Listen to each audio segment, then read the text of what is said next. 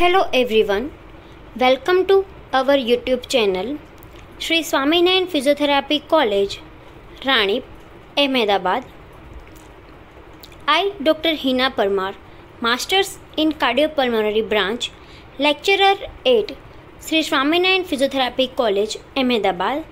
Today our topic is positive expiratory pressure devices. So for introduction, the development and utilization of positive expiratory pressure breathing came about in 1980s in Denmark and now it's widely useful for all over the world. One of the most frequently prescribed airway clearance therapy options for patients with chronic lung conditions or decreased lung volumes are positive expiratory pressure therapy devices that is PEP devices. So, PEP therapy involves active expiration against a fixed orifice flow resistor or a variable orifice threshold resistor, which are capable of developing expiratory pressure of 10 to 20 cm per H2O. PEP therapy helps to move secretions into a larger airways by providing a constant back pressure that prevents the air collapse during expiration and the airway behind the mucus fills via collateral ventilation. The therapy which is administered by breathing through a special device will helps to first air get behind that mucus then after mucus moves from lungs and airways wall and then after the whole airways open for longer durations. So with the help of PEP devices we can move the mucus and open the airways which are already collapsed. So via the collateral ventilation. We can open the airways for a longer duration of the time a subsequent HUF or FET maneuver that is force expiratory therapy maneuvers may allow the patient to generate the flow which needed to expel mucus from the blocked airway. So after the use of PEP therapy devices, we have to teach patient for huffing or coughing maneuvers so for expel the mucus. We have see the mechanism of PEP therapy device. So the PEP therapy device will increase the pressure is transmitted to the airways which creating a back pressure stenting them during the exhalation. So this this will prevent premature airway closure and reducing gas trapping. So with the PEP therapy device we create a back pressure during the expiration which will prevent the airway closure and reduce the gas trapping. Gas trapping is a air trapping. So PEP therapy device promotes collateral ventilation in surrounding alveoli and allowing pressure to build up distal to the obstruction. Then after airway retains from the collapsing and give prolonged expiratory flow. So usually in obstructive diseases expiratory flow will be reduced. So with the help of PEP therapy device, we can give the prolonged expiratory flow to that patient. Effective airway clearance promote movement of the mucus proximally. So mucus can clear with the main airways. Now for the indications for PEP devices.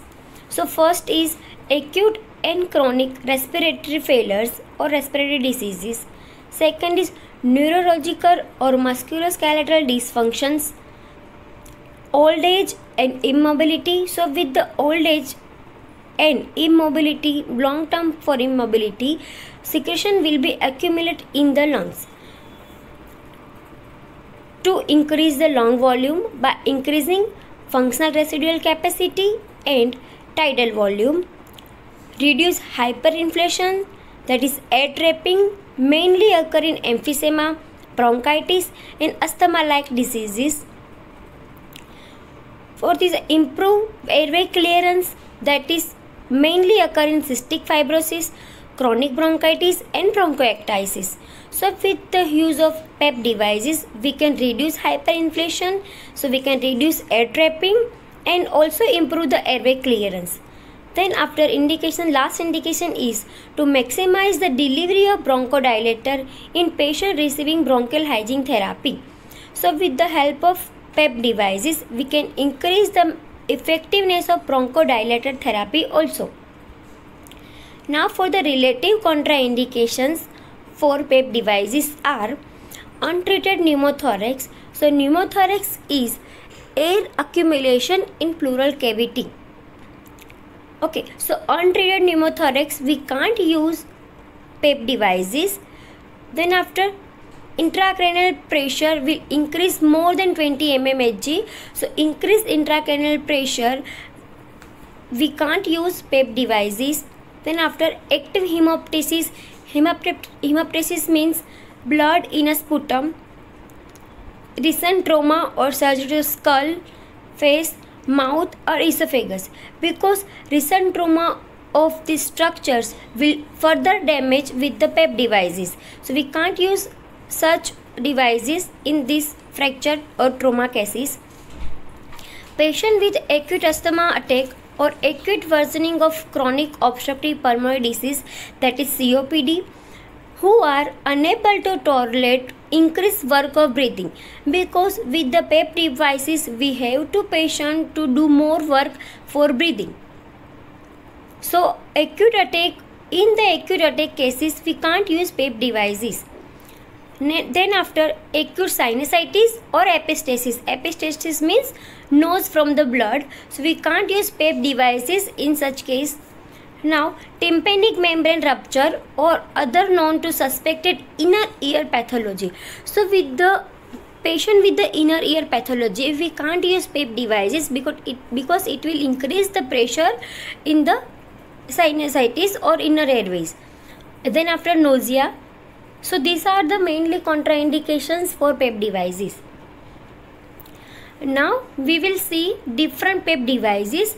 So we have include here four PEP devices. First is PEP bottle, second is Acapella, third is the shaker and fourth is the RC cornet. Right. So we will see the first is PEP bottle. So the PEP bottle is a very common threshold dependent system is a PEP bottle or bubble PEP device that consists a bottle filled with the predetermined quantity of water in which tube that draws from the bottom right? So with the help of a bottle we can we can use a uh, empty bottle filled with the water predetermined quantity of water and added the straw or tube inside the bottle so with these PEP devices patient have to blow into the tube and has to overcome that pressure opposed by the level of water until the bubbles are produced. So this is the bubble PEP devices. We can use the empty bottle filled with the predetermined water and add the test add the tube inside that bottle. Patient have to blow inside the bottle and produce a bubbles so bubble PEP device is very useful technique for the child test physiotherapy. We can mainly use with the child because child will have fun as well as chest clearance right? So we can see here child have to put that the tube inside the mouth and just have to produce the bubbles inside the bottle now second one is acapella the acapella is the another form of oscillating PEP devices which uses a counterweighted plus and magnet create airflow oscillations so the acapella is choice of airway clearance is used to help remove mucus from the airways. So the device may be used after taking a short acting inhaled bronchodilator medicine.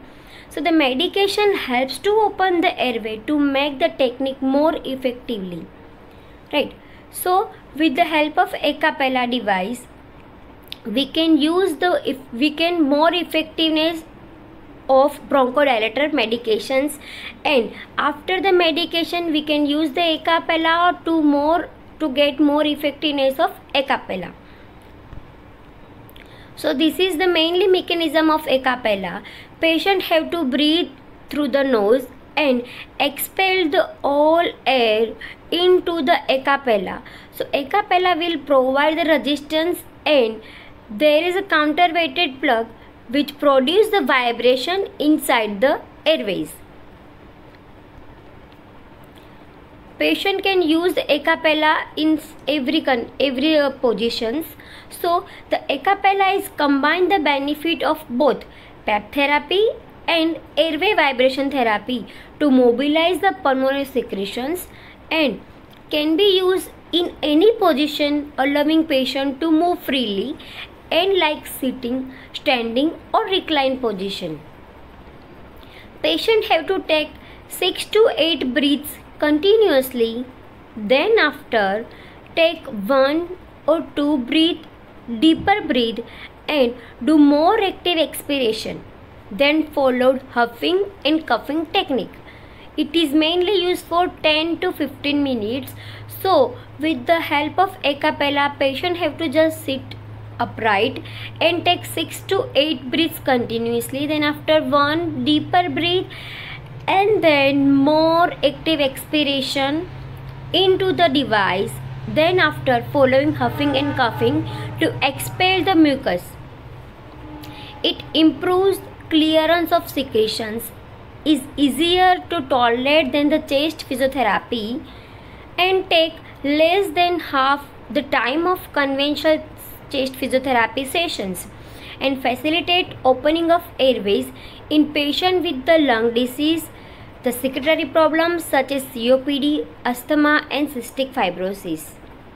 Thank you everyone for watching this video. Please like, share and subscribe our YouTube channel.